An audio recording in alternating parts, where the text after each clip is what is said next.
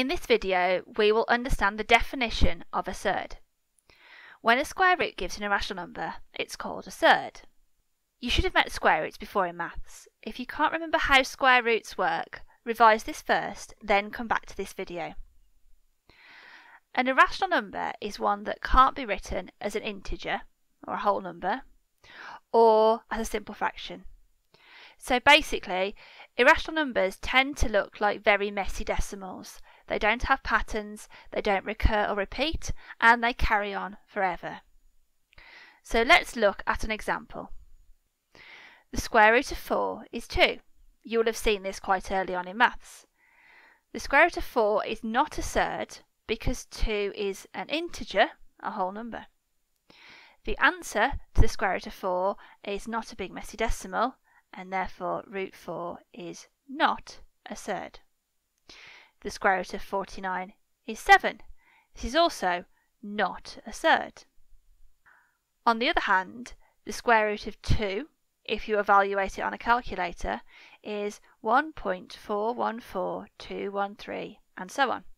This is an irrational number, so root 2 is a surd. On a calculator, the square root of 5 is given as 2.23606 and so on. It's another irrational number, so root 5 is also a surd. Let's look at a few more examples. Here we're going to sort the numbers in the blue box at the bottom into surds and non-surds. If you feel confident already, you could pause the video and try this on your own. The square root of 9 is 3 because 3 times 3 equals 9. 3 is an integer, so root 9 is not a surd. The square root of 12, if you evaluate on a calculator, is 3.4641, and so on. It's an irrational number, so root 12 is a surd.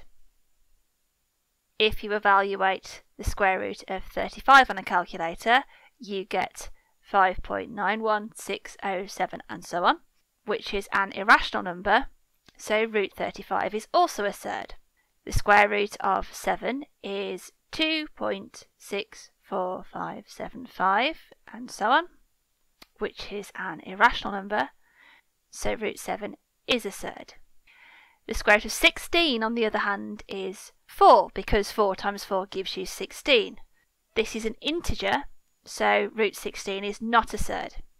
Hopefully by now you should have spotted that when you square root an integer, if the number isn't a square number, then it will be a surd. So you can quickly sort most of the rest based on your knowledge of square numbers. So 100, 36 and 1 are square numbers. So when you square root these, you will get an integer answer, and they are therefore not surds. 27, 20 and 54 are not square numbers, so when you square root these, you will get irrational numbers, so messy decimals. So these are all surds.